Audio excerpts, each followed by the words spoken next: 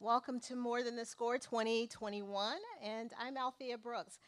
I'm Senior Director of Lifetime Learning in the Office of Engagement, and it is indeed a pleasure to see all of you here. You know, when we plan these programs in, uh, over the summer, we're not sure who would show up, and this year we were really nervous. Um, who will show up in the midst of COVID? So we're, we're thankful that you're here. Welcome. Um, and we plan more than the score with the Alumni Association each year to bring you uh, this wonderful lecture series before each home football game. And a special thanks to uh, both the Alumni Association and the Lifetime Learning staff and the Office of Engagement staff that work these events each Saturday mornings before the home football games. Uh, thank you for joining us at Newcomb Hall. This is not our home, um, but we, we like visiting it. We will return next week, October 23rd, for More Than the Score at Alumni Hall with Larry Sabato. Who will be there? All right. Uh, we extend a special welcome to our guests who've registered from around the world for the live stream today. We have over 600 people who registered for that, for the live stream. Uh, we're thrilled to welcome uh, Andrew O'Shaughnessy to More Than the Score. This is his first More Than the Score talk. Um, he'll be speaking about his new book on Thomas Jefferson's idea of the university, of a university. Um, and the bookstore will be selling Andrew's book uh, following this program. And he uh, has agreed to stick around and sign a few copies, so I hope you'll buy one. They make great Christmas gifts, is what Larry Sabato would say. Uh, before we begin, I want you to go ahead and silence the ringer on your phone, silence your phone, and we ask that you hold your questions to the end. We've placed microphones here and here in the aisle. If you'll step up and um, ask your questions, go ahead and give your, your name and your UVA affiliation, and uh, feel free to keep your mask on. We can hear you just fine. Um, and thank you for wearing your mask today after you've eaten your donut, drank your, drink your coffee. Uh, go ahead and put your mask back on. Um, now to introduce our speaker for the morning. Andrew O'Shaughnessy is the Saunders Director uh, of the Robert H. Smith International Center for Jefferson Studies at Monticello and the Professor of History in the Corcoran Department of History at the University of Virginia. He's the author of the, of the following books The Men Who Lost America, The British Leadership, the American Revolution. This book won the 2014 George Washington Book Prize. Fate of the Empire, uh, published in 2013. An Empire Divided, The American Revolution and the British Caribbean, published in 2000. Andrew will speak today on his recently published book. I'll go ahead and turn this on so you could see his book.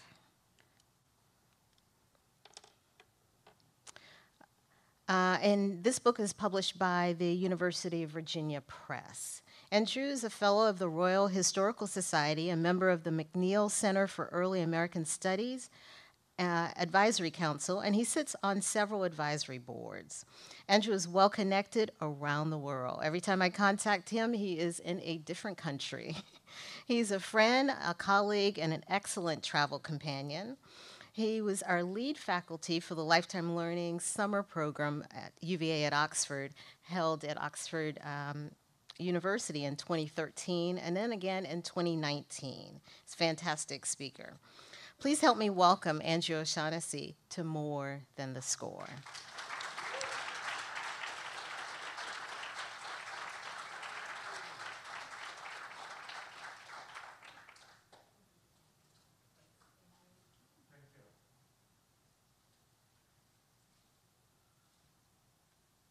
Thank you, Althea, for that lovely introduction. These sentiments are entirely reciprocated. Uh, in fact, Althea appears in the acknowledgements of this uh, book. And welcome to you, the audience. I must say it's a treat to see live people and to be in a room with people. Oh, thank you.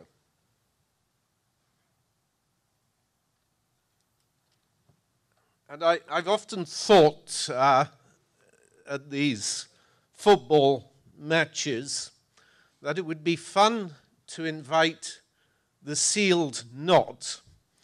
Uh, they are the British reenactors of the Cavaliers. and so instead of having one cavman charging onto the field, you could have an entire cavalry and regiment of pikemen. Uh, of course, the term cavaliers is correctly uh, known to be assumed by students as a result of the Cavalier song in the early 1920s, but the term actually has a much longer history in Virginia. Many of the Virginia elite like to refer to themselves as cavaliers, and there is uh, some truth to the tradition that they were associated with the British supporters of the monarchy in the English Civil War.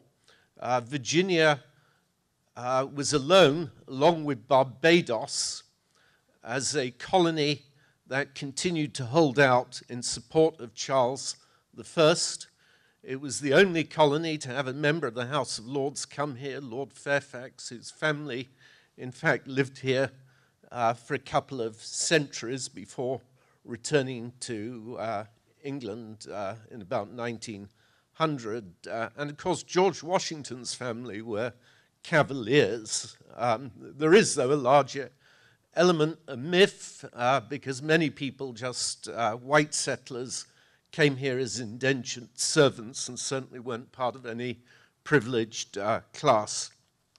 So, the headline of this book is that it's almost uh, unparalleled for any head of state anywhere in the world and at any time to have devoted so much time and attention to overseeing the creation and then the implementation of that idea of a university. Uh, even if I uh, broaden it and instead of saying head of state, talk about individual founders of uh, universities. Uh, and there are many. Um, places like Rice University was founded by an individual, University of North Carolina, New College, Oxford. But it's difficult to think of a parallel of any of them who uh, were involved in every aspect of the university. Obviously, as a self trained architect, Jefferson designed the university and designed it in such a way as to familiarize students with every uh, aspect of um, and every type of uh, classical architecture, you know, Doric, uh, Corinthian, Ionian, etc. Um, as a surveyor, or rather the son of a surveyor, uh, he physically surveyed the uh, property. Um, this is one of his first drawings of the land of what would become the uh, University of uh, Virginia. As a bibliophile, uh, he wrote down and chose all of the books for the library uh, the actual list is over 6,000 books, which made it immediately the second largest university library in America, other than Harvard, and it was equaled by Yale. But that was quite remarkable given that those universities had been founded so much earlier. As an intellectual, he designed the courses. This is uh, his design or the books, rather, that he uh, recommended for the teaching of um, Anglo Saxon. Uh, he even served as the secretary to the Board of Visitors while also being the rector. Uh, I no one ever wants to volunteer to take the minutes at a meeting, although it is quite smart because, of course, the person who writes the minutes essentially gets the last say and is able to gloss on exactly uh, what happened, uh, which is revealing of Jefferson's general political savvy. Um, he entertained all of the students at the university at least once, uh, usually in groups of three to 12 on a Sunday evening. Those who had religious objections, he would invite during the weekday.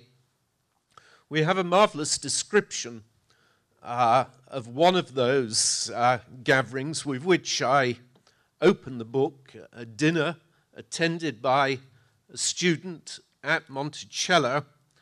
Uh, the student was called Henry Tutwiler, who later went on to be the first um, president of uh, the University of Alabama. And he told this account at the 50th reunion of the alumni. The Alumni Association began quite early. Uh, and so this was in 1875, 50 years after the university had opened its door. And he gave a wonderfully detailed description. And he described how Jefferson was going slightly deaf and would push back his chair during these dinners because he didn't want to discourage the students from talking. In fact, what he really wanted to do was observe them talking to each other and engaged in conversation. Uh, one of his granddaughters described these dinners as a feast of reason. He also described in some detail Jefferson's own daughter, Martha, whom he said should actually be commemorated at the university, that her sacrifices had helped him uh, focus on uh, building the university. But he, she described how Martha uh, would gently tease Jefferson during these dinners. She really acted as the hostess, and uh, she firstly said to the students um, when Tutwiler had dinner there that uh, Jefferson didn't like novels and that they tried to get him to read novels and they'd given him the, some of the novels of Sir Walter Scott and he disliked them. But uh, having, she then proceeded to say she loved herself reading the legal works of Sir William Blackstone. Now, Blackstone's commentaries were one of the most popular guides to the English legal system, and Jefferson had almost wanted them banned at the university because he thought it would turn Americans into Tories and into satellite British subjects. And so it was really, she was gently prodding him, saying how much she enjoyed uh, reading this book. Uh, Jefferson even supervised for a period the building of the university, acting as his own clerk of works.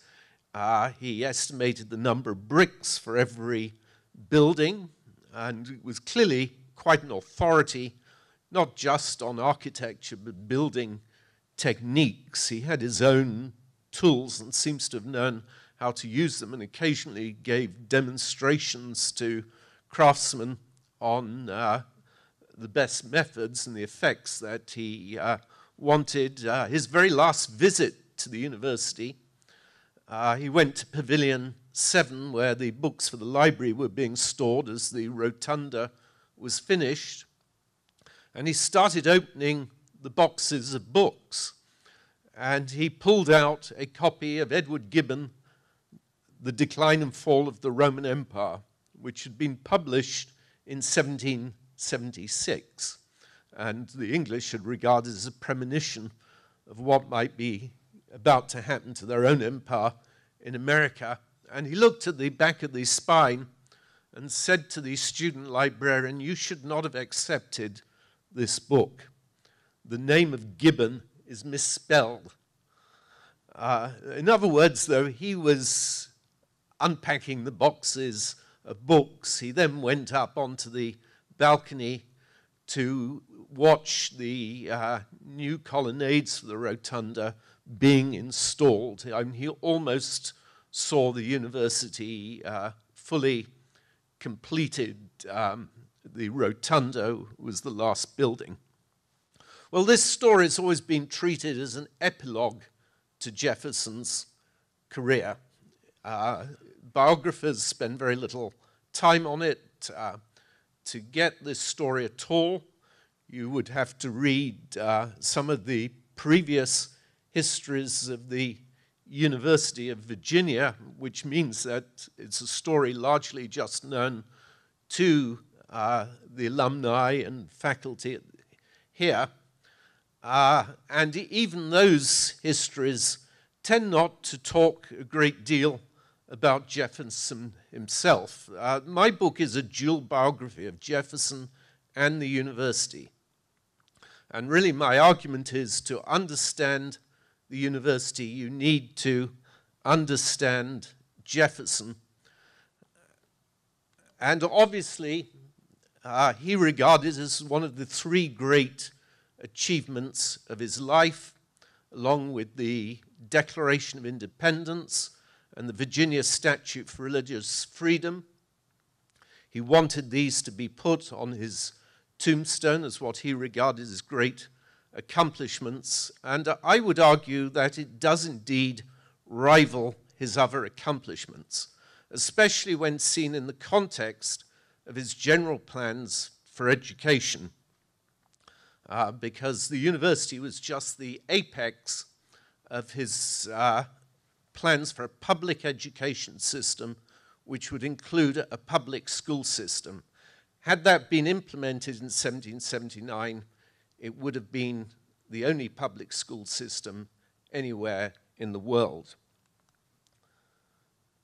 Now, like the Declaration of Independence, the university did not fully realize all his aspirations uh, there were some real weaknesses.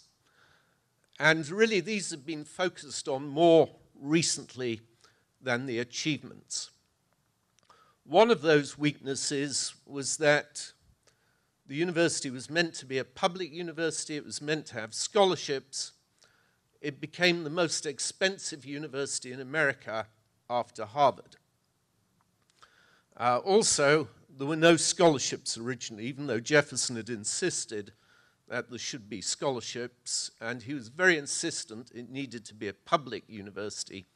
There were no uh, scholarships.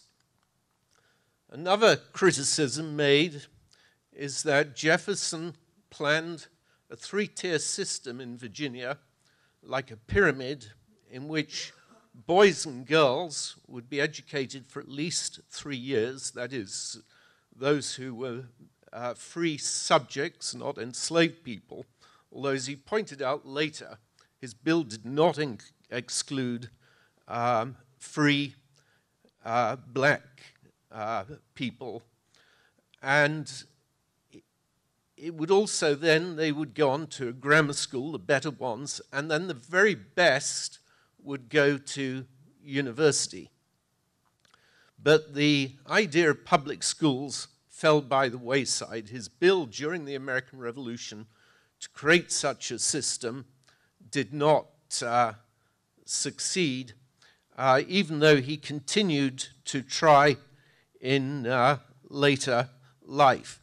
He wanted the university to be for the illimitable freedom of the human mind, but many have pointed out a contradiction in that he also wanted it to espouse Republican ideas of the Republican Party, and he was very particular about how law would be taught and how politics. And of course, it was blighted by the presence of slavery, which was true of all colleges in the uh, South. Uh, this has been a focus of much work recently. It's an important corrective, and I do indeed absorb a lot of this material into my book. It was very useful.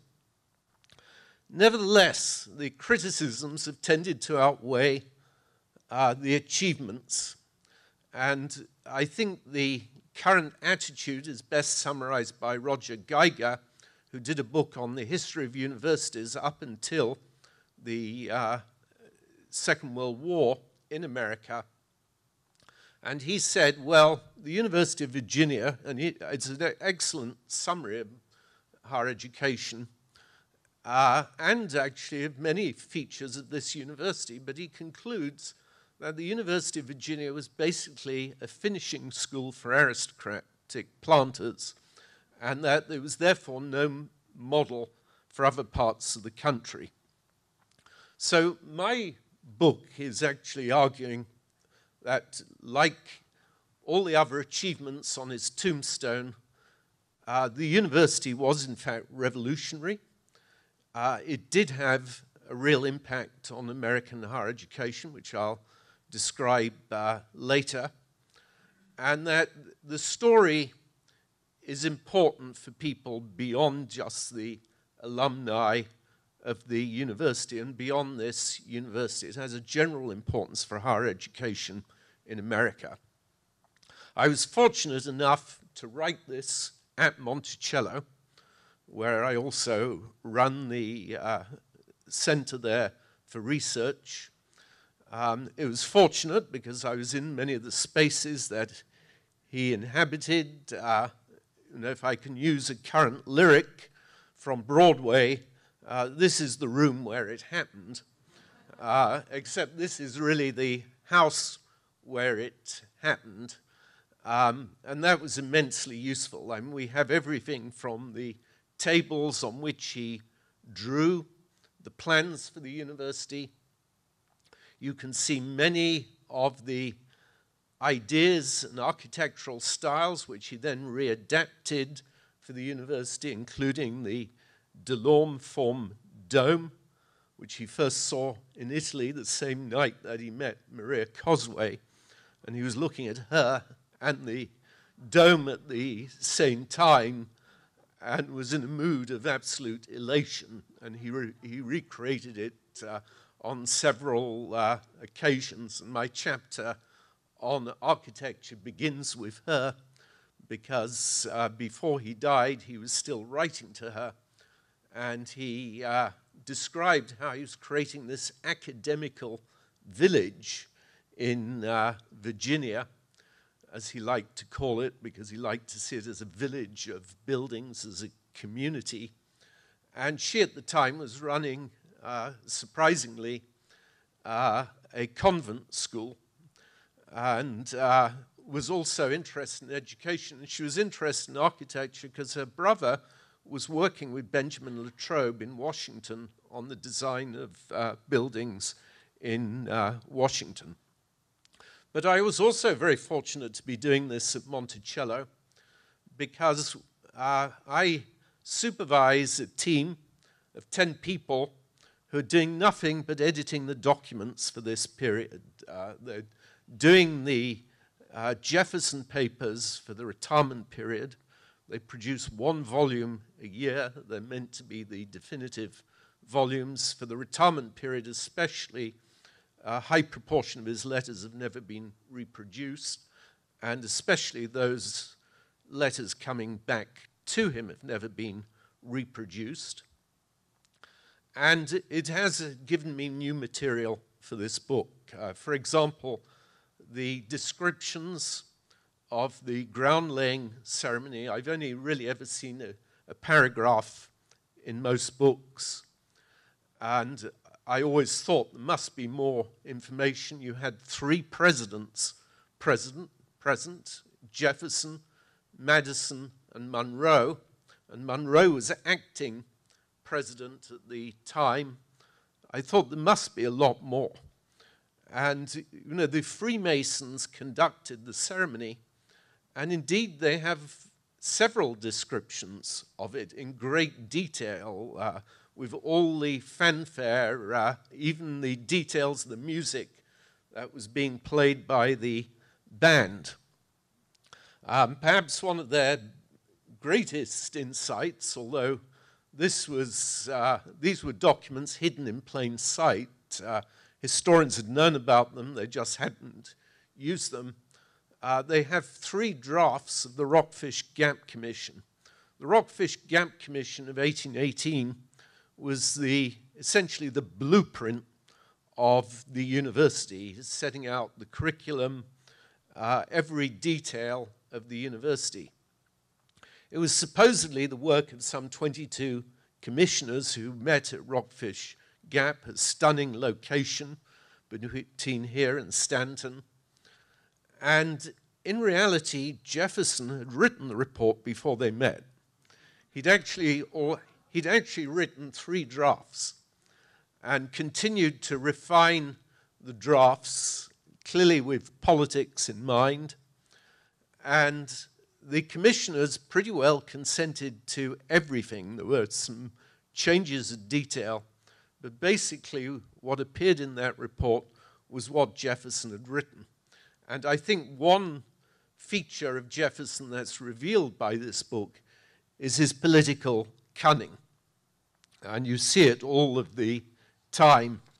Uh, know, he even uh, said um, to a visitor, the visitor asked him, Why didn't you just give one price for the university? When you did cost estimates, why did you keep doing them for each building rather than for the entire university? And Jefferson laughed and said, Because you can only stuff one hot loaded potato down a man's throat at a time. So he emerges as a lot more cunning. But as I said earlier, this was a revolutionary university in so many ways. For one thing, it was really the first secular university in America. Uh, the, the, the, University of Transylvania, which I have to admit, when uh, someone said, Have you looked at the University of Transylvania? I left puzzled, thinking, Why would I look at a university in Romania? Uh, this is, of course, in Kentucky, and it predates the University of uh, Virginia. And it, it experimented with being a secular university, but very quickly reverted from that. Similarly, with the University of North Carolina. I cannot tell you how unique this was because at every college in America, you not only had to attend chapel, you usually had to attend chapel as a student twice a day. They were all religious colleges. And for Jefferson, it was essential if there was to be true intellectual freedom that it must be free from political and religious uh, restraints. And um, this, I think, was one of his most important guiding principles, why he wanted it to be a public university. William and Mary at this time was private, and he tried to secularize William and Mary and failed. It was one of the reasons he wanted it in Charlottesville, quite apart from being able to control it, because this was the most interdenominational center. Uh, there were really just three churches uh, the Presbyterians, the Anglicans, um, and uh, uh, one other that I, I, can't think of at the moment. I, I yeah. And uh, they would actually share a building to have their um, services.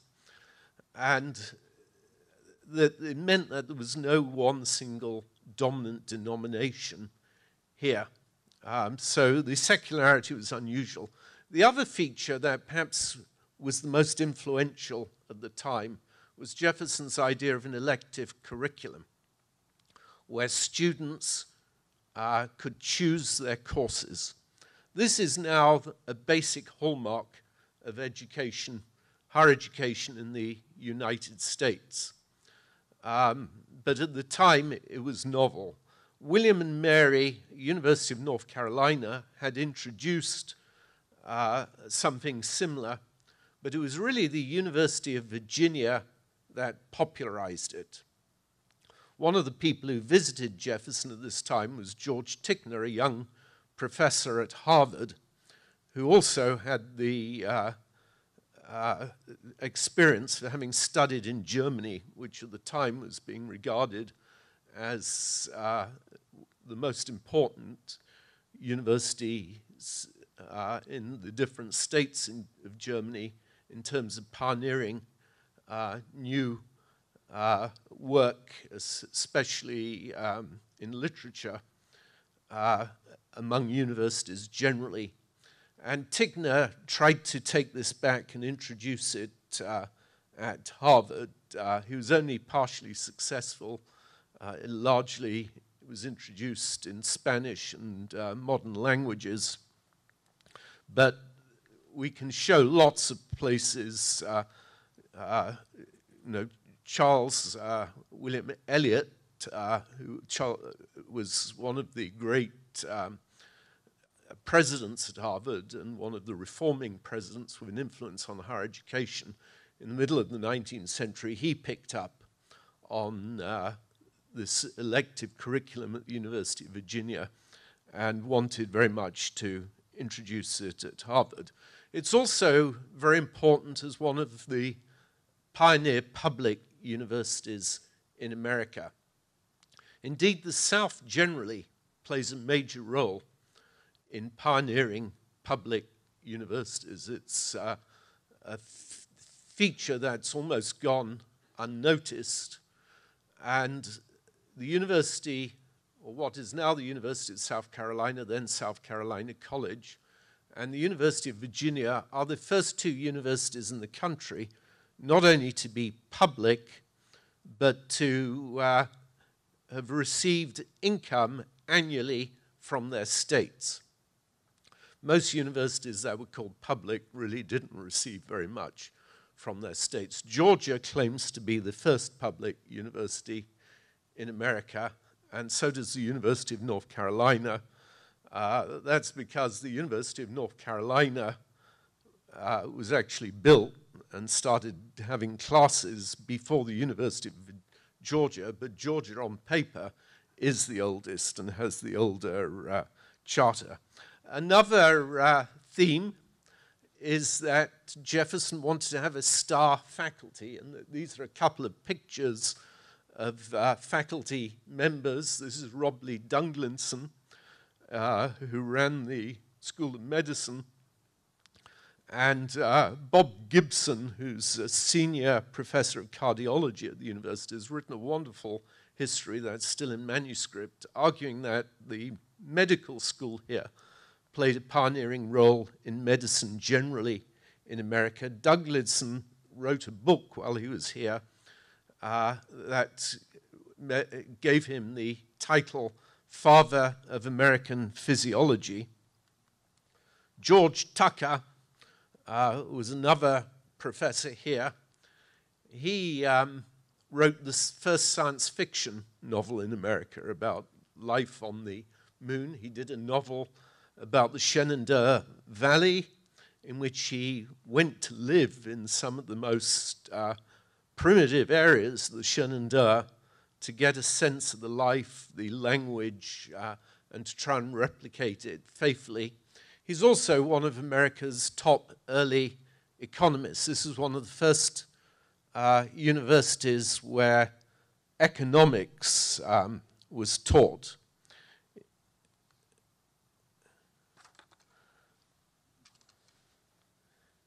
And uh, this is just one of the Jefferson's quotes about how he intended to spend his remaining days uh, devoted to the university. The point is um, that uh, he modeled the university really on his own uh, experience at college at William and Mary. Uh, he was influenced uh, by three uh, professors. One was William Small, or that they weren't all professors, William Small, who was from Scotland and had first hand acquaintance with the ideas of the Scottish Enlightenment. Another was George Wythe, who later became a professor at uh, the College of William and Mary, but at the time uh, essentially gave Jefferson law classes as a sort of intern and then also uh, Governor Francis Fauquier. And the three of them would meet for musical evenings and conversation. And Jefferson really wanted to uh, replicate that, those kinds of conversations as he did at his dinner parties for students. What he wanted was to have a university that was paternal, in which the professors lived among the students, even dined with the students and in which uh, there was an almost family like atmosphere. Uh, uh, and that is what he wanted to imbibe into uh, the university. What I find remarkable is the comprehensiveness of his vision. Uh, that um, he did not think just in terms of what we now regard as the basics of a university. Uh, he was interested in having art galleries and museums. Uh, he wanted the medical school to offer free clinics in Charlottesville for people who needed medical attention. Uh, he, uh, this is, I think, his most fun idea in the rotunda, and it's had some, um, some publicity recently because they've tried to recreate it. He wanted to have a planetarium in the rotunda with a professor on a boomstick, uh, guided by a student, uh, operated by a student, which seems pretty precarious, especially given some of the students in this period, uh, who would literally travel through the stars. He regarded astronomy as almost the mother of the sciences. And it's easy to think, and Jefferson insisted that science should be taught at the university. Uh, it was not at a lot of colleges, um, and it's worth uh, realizing that for most universities at the time, the classical curriculum was still the basis. He wanted to have classics, but he wanted to have so much more taught. The word science at this time is more a way you approach knowledge rather than what today we would think of as, as pure sciences like chemistry and uh, biology and physics. Uh, Jefferson not only wanted those taught, but he insisted that subjects like Anglo Saxon were essential for students to study. And he wanted students to have as broad an education as possible. He recommended no one should start studying law until they've spent at least three years studying other subjects. So I'm going to conclude by pointing out that this university had a real impact elsewhere. Now, it's always very difficult to demonstrate impact because uh, you know, people are influenced when they found an institution, just like Jefferson himself, by a lot of different sources.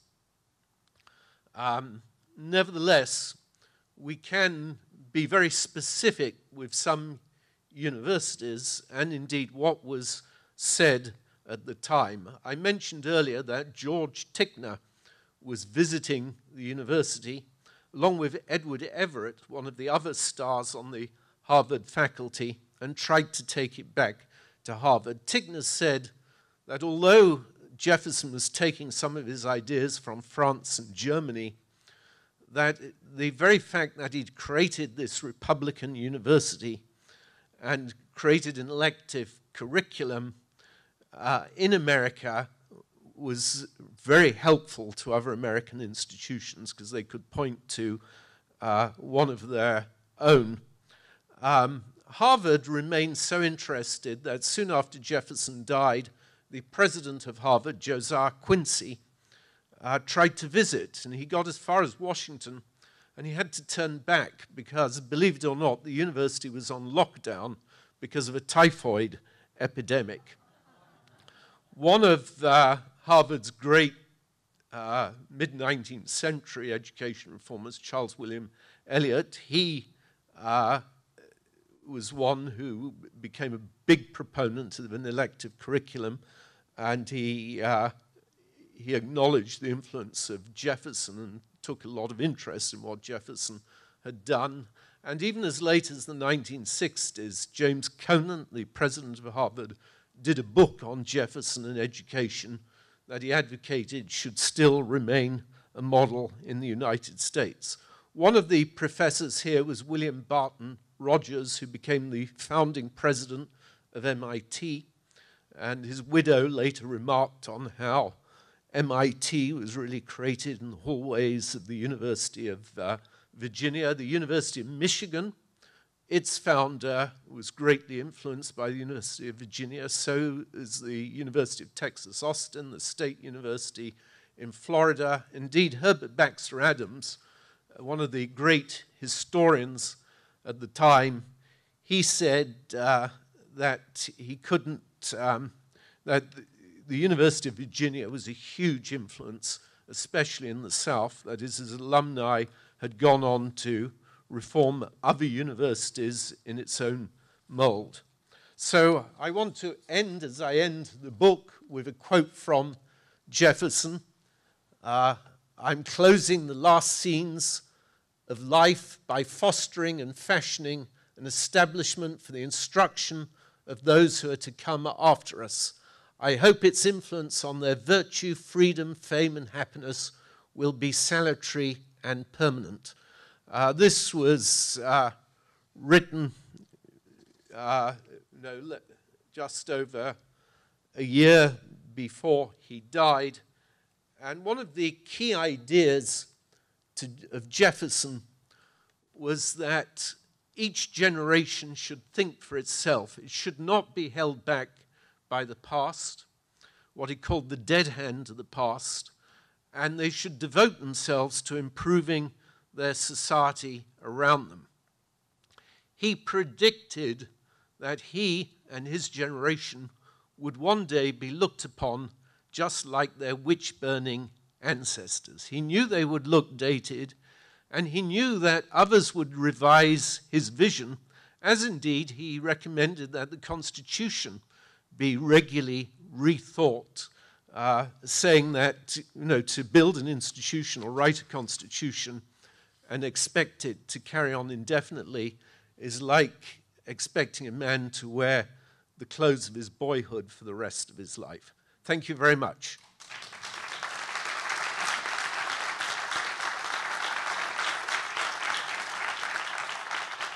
Now, I do have some questions that were sent ahead, but I thought I'd first ask if any of the audience, otherwise, I'm happy to uh, uh, do these as people are coming up. One of the questions that came in from the audience was about whether Jefferson had any vision to educate women at the university. Uh, the answer is no, uh, and it's not entirely surprising. He wanted this university to educate the people who would later lead America. Remember, four of the first five presidents were, were Virginian. He sort of expected that that would continue. This was to be the leadership of the state and the country, and therefore he was particularly important to educate the uh, men. On the other hand, he recognized the importance of women's education in his education bill to give basic education. And we must always look at the context. There weren't opportunities for women in higher education at this time. They came much later with uh, colleges like Grinnell. Uh, and suddenly, in the education of his own daughters, he really educated, gave them the best possible education and didn't give them an education focused on women, even though he would say that women should study the domestic arts. He actually never bothered to teach his own daughter, and she complained that when she had a family, she suddenly had to start learning uh, a lot of these skills herself. Thanks for your perspectives today. Yes. Um, in terms of loca- uh, locating the university, when he went, when Jefferson went to Rockfish with Yes. his agenda well in place and saying, "I've got this Central College of Virginia all ready to go," um, is it accepted that in the day, the joint Virginia-West Virginia, that the geographic center was definitely much more towards the valley, probably around Staunton? Was that an understood, accepted thing, but yet he portrayed it as Charlottesville was a geographic center? Or perhaps it was the population center, which would be east, but uh, on He, that. he cheated. He did, Uh, I, this, you know, the Staunton area and Lynchburg had a good claim. We forget that what is now the state of Western Virginia, was part of Virginia, although much of it uh, undeveloped, but that area had good reason to think that it would be the central part of the state. Uh, the College of what is now Washington and Lee, just known as the College of Washington at the time, that uh, had probably the strongest claim because they had a huge endowment and they had a donor willing to uh, give them uh, a great deal more if they became the University of uh, Virginia. Um, so for Jefferson, one of his critical arguments was saying that this was the most central part of the state. I said he cheated. One of the ways he cheated was he counted the free black population, not just the white population. And, uh, you know, the university went through several stages. He originally got onto the board of a defunct academy, which was really just like more of a prep school. Uh, he turned that into what he called Central College and managed to persuade all their trustees to resign so that he could appoint statewide trustees, including Madison, uh, as allies, and most of them actually became then the first uh, board of visitors at the university. And, uh, but it was a private college, Central College, and he insisted on the word central. He didn't want it being called Jefferson University, and uh, that was the point he was really trying to convey. At the Rockfish Gap Commission, he arrived with a cardboard cutout of the state and lots of statistics to show that this was absolutely the most central part of uh, Virginia. But I think the reason he wanted it here is partly just being able to control and oversee the project. He almost didn't trust anyone else. And he had many collaborators, whether in architecture with Benjamin Latrobe or with the university with Madison. Joseph Cabell, obviously, it was a critical one uh, and I describe them in the book. Um, but there's no doubt he wanted to supervise it, uh, either visiting every day or watching it being built from Monticello. At the end of his life, hmm. um, I had recently bumped into the fact that hmm. uh, Edgar Allan Poe went to his funeral. Yes. Or the procession or something. And I wondered if there was any of his reflections of that, or was it a drug addled day or something? it's very sad. Poe writes nothing, he mentions nothing uh, about Jefferson.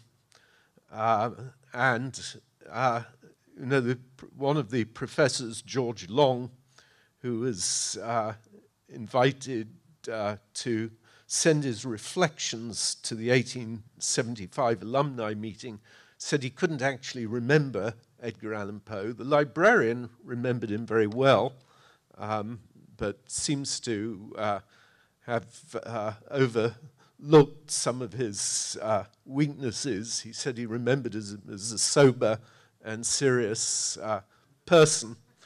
Um, but it is true, uh, he was one of the few students to get to the funeral. Jefferson wanted his funeral to be small and private. And there was a quarrel within his family about it. He also wanted it to be virtually immediate. And there was also a quarrel between town and gown in Charlottesville.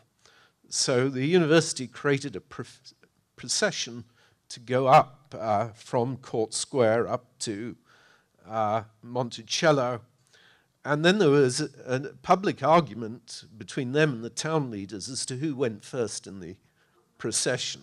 Uh, hierarchy was still very important. Um, and they never got up here, but Poe just got on a horse or on his ran uh, and managed to arrive. Uh, and it was a group of about 40 who students who actually got to see the event. But if um, uh, Tirrett's correct that every student dined at Monticello, he must have dined there. And maybe in these descriptions of crumbling houses and so forth, uh, maybe uh, there are echoes. There's certainly echoes of the valley of the Blue Ridge Mountains in his work. What would Jefferson's reaction be to, I guess it's the General Assembly's requirement that the student body has to be seventy percent Virginian and thirty percent uh, from the rest of the United States? That's number one. And number two, what would he feel about the way that admissions are currently handled, particularly with regard to equity issues and so forth? Well, uh, you know, I always try not to second guess how he would uh, deal today. There's no doubt he hoped that the university would uh, attract students very broadly within America, but he did understand it was predominantly for Virginians. Uh, and he was very upset that Kentucky could build Transylvania, which was a very good university with a lot of promising start, and that uh, the University of that Virginia, which he regarded as the greatest state in the Union, should not have a great institution, even though it was providing a lot of the leadership. Um, and, uh, but it, it, was important to him to attract people very broadly, and actually, it was attracting people more broadly than Harvard, who for much of the early part of the 19th century took all their students not only from Massachusetts, 90%, but largely from uh, Boston. The most um, kind of, uh, the ones with the biggest national base were Yale and Princeton. And that's partly because of the Presbyterians, who were the most active group in founding universities and schools at the time, and also in uh, having college presidents.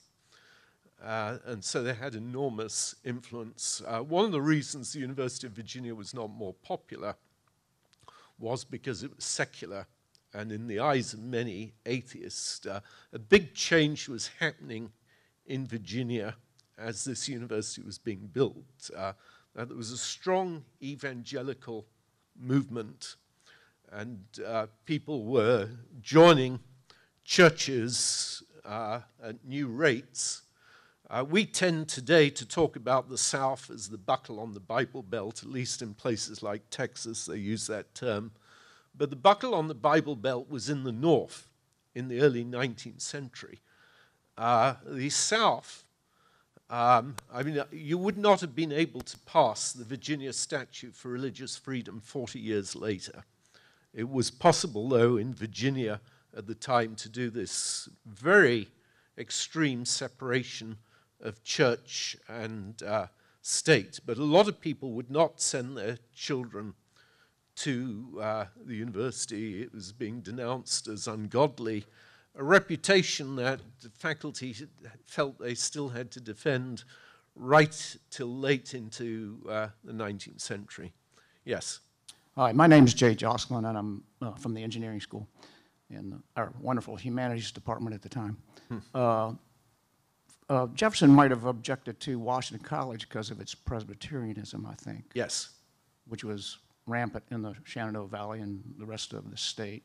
Yeah, I'd like to just comment on that because a lot recently people have criticized him for voting against a plan of public education uh, put forward by a political uh, opponent, Charles Fenton Mercer, whose support was in the Shenandoah Valley, which was a lot more evangelical than the eastern part of the state, and Jefferson voted against it. But it's because he was extreme. He did not believe that clergy should even be allowed to teach in the schools. And he was particularly opposed to uh, Mercer because Mercer was firstly a Presbyterian and secondly was a Federalist. And his great fear was that they were getting the monopoly of all educational institutions in America. Uh, and it's rather bizarre because federalism, the political base, had been in the north, uh, and yet most of the southern universities were also so federalist. I'm one of the only Republican universities in the south was in uh, uh, it was the College of William and Mary, and he was obsessed about this because in the election of 1800, which no one has ever pointed out, coincides with the first time that he wrote that we need to found a University of Virginia to Joseph Priestley. In that election, uh, he was particularly bitter that the clergy in the North were especially virulent in their attacks, and especially the clergy who were college presidents. Uh, and Timothy Dwight was the most outspoken at Yale. He said uh, he'll have everyone in America an atheist and having to sing the Sa-Ra-Ra, the song of the French Revolutionary movement. Uh, and Dwight told students at Yale to pledge that they would never vote for Jefferson. And Jefferson believed that only he and the Republican Party represented the true spirit of 1776, and that unless the Federalists were bypassed and they lost their monopoly of education, then uh, you know, there was a real danger of, Brit- of America reverting to being a British satellite and reintroducing monarchy, aristocracy, and so on. And that was a major reason for the founding of the university. Some have suggested that when he talks about the poison of the North, he must be referring to abolitionists. But we have to remember in the 1790s, it was not the issue of slavery that chiefly split the North and South, and Federalists avoided it as a debating topic, uh, and they certainly did nothing about it while in office under Washington and John Adams. Um, and that, that remains true even later. Those who've argued to the contrary quote Jefferson during the Missouri crisis, but significantly, Jefferson was writing about the dangers of the North to a Federalist who he wanted to vote money in the legislature for the building of the rotunda. All right, but my real question, and uh, as it happens, uh, I am uh, Presbyterian, and Yes. I am from Charleston, the Yes. other part of Virginia. Um, But my real question is, uh, what was the impact of William Small on Jefferson? And he came, I guess, and impacted the University of Pennsylvania later? Yes. And so I, I've seen nothing, uh, I know, uh, other than those references, anything about him. He came to William and Mary. He must have been a square peg in a round hole there, because as Jefferson said later, uh, William Mary, he gave up on William Mary because it was full of uh, clergy, which Right. was founded by the Anglican Church. Uh, so, um, what can you tell us about William Small? Well, first, I do want to say I don't share all Jefferson's views, uh, and I, I do not think he was fair entirely to the Presbyterians. He thought of them all as Calvinists. Well, right, And he, exactly. thought, he thought of them all as uh, Federalists, but in fact, many in the South were not Federalist, uh, and they did, we, we owe it to them uh, that they did found so many good schools and uh, colleges. And indeed, I give a little sense of the history of universities in the book. Religious uh, institutions are responsible for the modern university. Much of the language we use, even speaking about the rector, the provost, the degree ceremony, the name of degrees, uh, even wearing gowns are like vestments. Uh, this, you know, th- this derives ultimately from the Catholic Church. As of William Small, he was a huge influence on Jefferson. They used to meet almost daily and in social contexts. And he was the only lay professor, as you rightly point out, at the College of William and Mary. Uh, he was unhappy, and in many ways, the fact that he didn't stay must have been part of Jefferson's turning against his alma mater, because he was certainly very unfair to it. He wanted to close it altogether and to take its endowment for the University of uh, Virginia. Uh, and the point about Small is that he was familiar with the sciences and taught a very broad curriculum. So he really exposed Jefferson, um, especially to some of the ideas of the Scottish Enlightenment, which are manifest in documents like the Declaration of Independence, you know, the pursuit of happiness, uh, the belief that uh, humans are basically benign uh, and good, uh, and that in many ways society and governments are what uh, will corrupt them. Anything else about Small's career in the United States? Well, I, it lasted a very short time, as you rightly point out, and he returned to England. Uh, he joined the famous Lunar Society in Birmingham, of which Joseph Priestley was another member. Priestley, to whom Jefferson first wrote saying, We need to found a University of Virginia. Uh, he was the father of the Unitarian movement and also uh, is credited with the development of ideas on oxygen, a very important scientist. Um, and uh, that was a bit like the American Philosophical Society in America, a very important uh, club. Uh, what was interesting for me writing the book was to realize that research and new developments weren't being done by universities uh, for the most part in the 18th century. They were being done by scientific organizations. Uh, it took a long time for science to be properly incorporated into curriculum. At, at Yale, which actually became very good, the person they chose to teach chemistry had absolutely no knowledge of the subject. Uh, they paid for him to go to the University of Edinburgh. In actual fact, he turned out to be an outstanding scientist, but they weren't prepared to go and get someone in Europe, as Jefferson did. Only one of Jefferson's eight faculty were born within the United States. Uh, all the others uh, essentially were outsiders, um, and which is good because we have a lot of correspondence and memoirs of them with which to build up our picture of the university. But he died, unfortunately, regrettably, before uh, Jefferson really gained his fame. Small? You mean- Yes. You mean William Small? William Small, yes. But did he come back to U- University of Never Pennsylvania? came back to America. I thought he had some influence on the University of Pennsylvania somehow. Um, that's possible uh, b- Okay. through one of his proteges, but he never came back. Okay, thank you. I think Althea's going to shut me down. Well, we just want to say thank you to Andrew O'Shaughnessy. We have a small gift for you. Thank you. Um, This program was uh, brought to you by the Lifetime Learning Program um, in partnership with the Alumni Association. So we want to thank you all for coming out and joining us online, and enjoy the game. Thank you all.